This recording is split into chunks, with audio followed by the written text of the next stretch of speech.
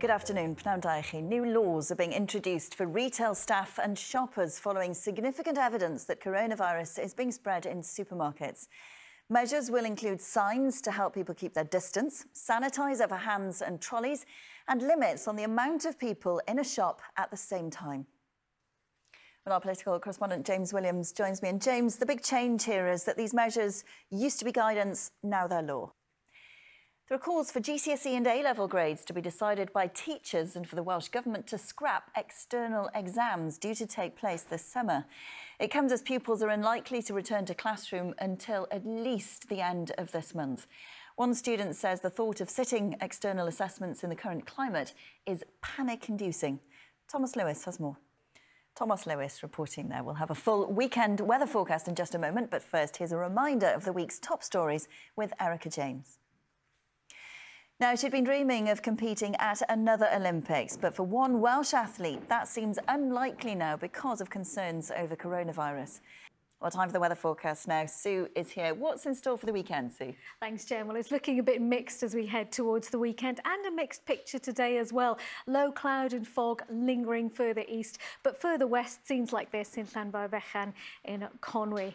So if we take a look at the map then, this afternoon generally dry, often cloudy, but some breaks allowing brighter spells, a bit chillier too with lighter winds, highs between 2 and 6 Celsius.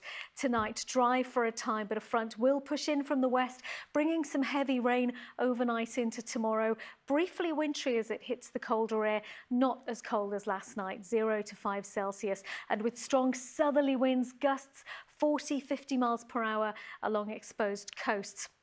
Now, this weather system brings that wetter, windy weather overnight into tomorrow. That front clears eastwards towards the continent, allowing high pressure to build by Sunday. So outbreaks of rain tomorrow, brisk winds for a time, clearing to showers and turning drier, brightening up from the west in the afternoon. Winds ease, highs between 3 and 10 Celsius. Drier and clearer overnight into Sunday. Winds turn more northwesterly once the front is through, so colder with a touch of frost at 2 to 5 Celsius. And then Sunday is the better day of the weekend, drier and brighter, winds easing, a little cloudier later on and slightly cooler as well on Sunday, highs between just 6 and 8 Celsius. It's dry to start Monday, but with some rain later, unsettled for the middle of next week, colder by the end of it. Jen.